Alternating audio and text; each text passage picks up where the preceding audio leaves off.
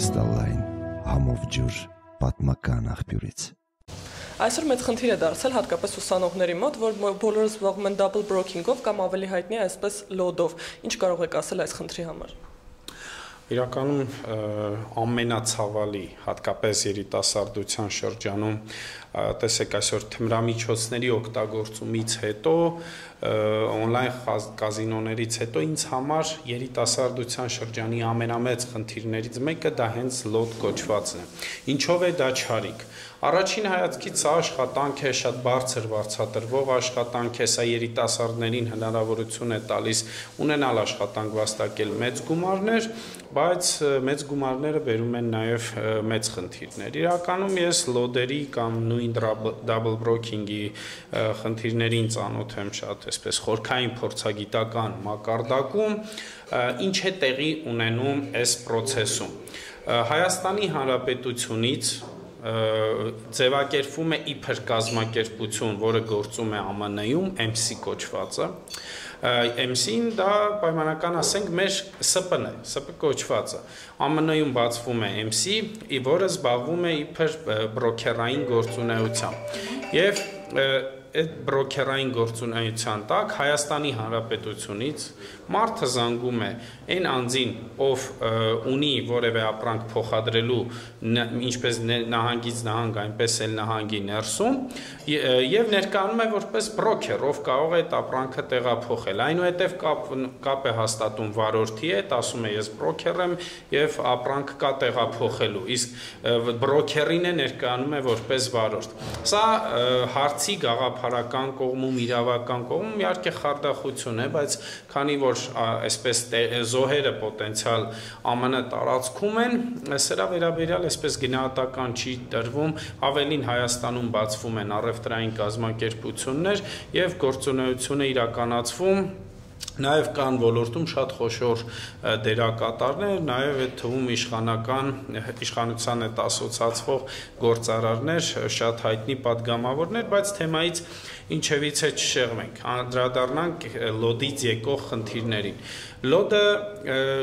քանի որ Ամերիկայում ենթադրվող աշխատանք է տեղի է ունենում գիշերը, այսինքն ցերեկը 4-ին սկսվում է, լուսադեմ 4-ին 5-ին ավարտվում է։ Եվ ինչպես ասում են, գիշերային կյանք եւ գիշերային խնդիրներ լոդերին ներգրավված երիտասարդների ընդ որում կապ չունի, տղա թե աղջիկ, գրեթե բոլորը մարիխուանային կախվածություն, ափիոնային կախվածություն ունեն եւ շատ լայն տարածում ունի այստեղ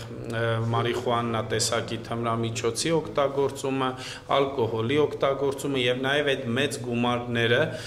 արդեն երիտասարդությանը այսպես չեն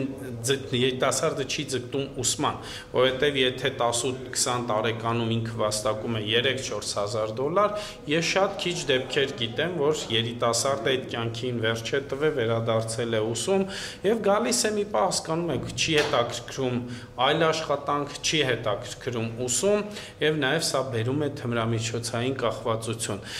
Եվ ընդհանուր առմամբ պետությունն է սրա դեմ հակակայլեր չի կատարում։ Տեսեք, սա դասական առումով առևտրային գործունեություն չի, սա դասական խարդախություն է, որովհետև այստեղի ցանկ կատարելով ԱՄՆ ներկայանալով բրոքեր կամ վարորդ, դու խափում ես մարդկանց եւ այդ խափեության վրա գումար վաստակում։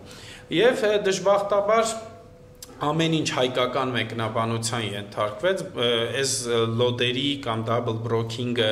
շատ էսպես աշխարհով աշխարհում տարածում գտած, հատկապես մեքսիկների շրջանում շատ տարածում գտած է, բայց գիտեք ինչ, ոչինչ չէր տուժում, որովհետև քաղաքացուական վարորդի համար էական չէ, ինքը զանգը պատվերը ստացել էր Հայաստանից, Մեքսիկայից, Ինդոնեզիայից, բայց այս ամեն ինչ ստացավ հայկական մեկնաբանություն, զանգում են շատ ժամանակ ապրանքն են գողանում, ապրանքը տեղ չի հասնում, վարորդին են խափում, բրոքերին են խափում եւ արդյունքում մենք ունենք երիտասարդների շատ մեծ տոկոս են ընդ որում իրենք կազմում, որովհետև այսօր եթե մենք քաղաքում շրջենք ամեն քայլափոխին գործում են էս թեև որոշակի գնահատական կա, որ շարունակաբար նվազման է գնում գործունեության տվյալ տեսակ, բայց այնուամենայնիվ այն շատ մեծ ծավալներով շարունակում է պահպանվել եւ սա կրկնում եմ ուսանողին զրկում է ուսումից մի քիչ ավելի հասուն երիտասարդին զրկում է այլ նորմալ բնականon աշխատանքի, պետական աշխատանքի անցնելու բոլոր գայթակղությունն է կորում, որովհետև ինքը առանց ուսման, առանց աշխատավարձի վաստակում է, չգիտեմ, շատ մեծ գումարներ են այստեղ։